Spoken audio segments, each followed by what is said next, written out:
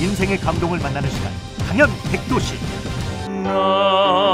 넌할수 있어 힘들지만 전 하늘로 출근하는 여자 최정혜라고 합니다. 조그마한 체격의 여자가 어떻게 거기서 큰 중장비를 운전할까 믿기지 않으실 텐데요. 한 달 전에 당신 중증 암 환자라요. 누군가 어떤 분이 저한테 그런 말 했어요. 인생을 지뢰밭이래.